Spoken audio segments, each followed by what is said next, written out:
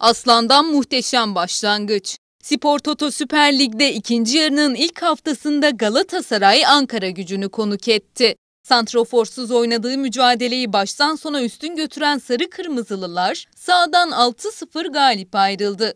Fatih Terim'in öğrencileri bu galibiyetle puanını 32'ye çıkardı ve maç fazlasıyla lider Medipol Başakşehir'le puan farkını 3'e indirdi. Konuk ekipse 20 puanda kaldı.